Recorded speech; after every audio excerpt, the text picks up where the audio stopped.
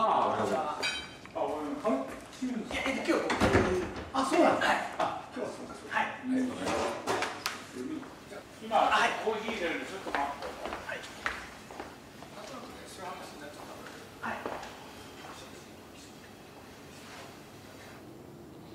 い。やまあ筆それで高田さんの話ですはい。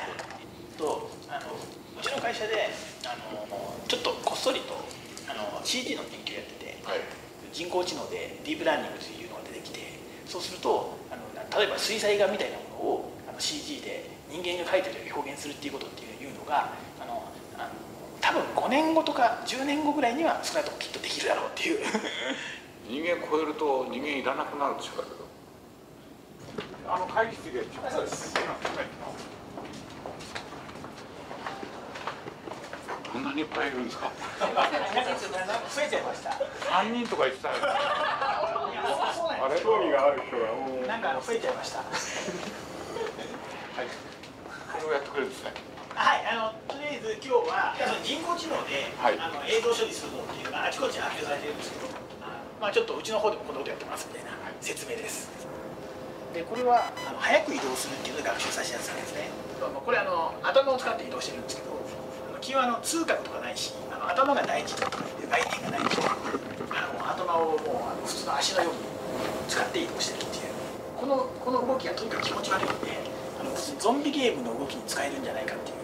こういう人工知能を使うとあの多分人間が想像できない気持ち悪い動きができるんじゃないか、はい、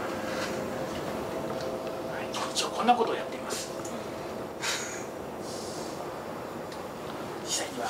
あのとね毎朝会う毎朝この頃会わないけどあの身体障害の友人がいるんですよ。はい。でその人は、まあ、歩いてくるんだけど片足はほとんど外側に曲がったままだから大変な苦労して歩いてくるんですよ。そのハイタッチって言うんだけど大変なんです。彼の筋肉がこわばってる手と僕の手でこうハイタッチするでその彼のことを思い出してね僕はこれ面白いと思って見ることできないですよ。これを作る人たちは痛みとかそういうものについてね何も考えないでやってるでしょ。極めて不愉快ですよね。そんなに気持ち悪いものをやりたいなら勝手にやってればいいだけで僕はこれを自分たちの仕事をつなげたいとは全然思いません。極めて何か生命に対する侮辱を感じます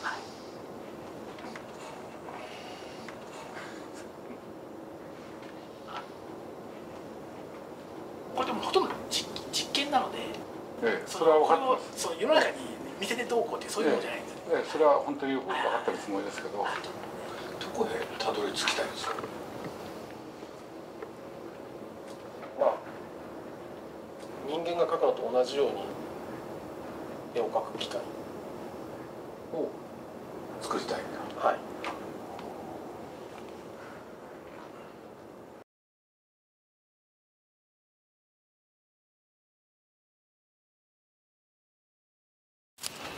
最後の日が近いって感じですね。それは人間の方が自信がなくなってるから。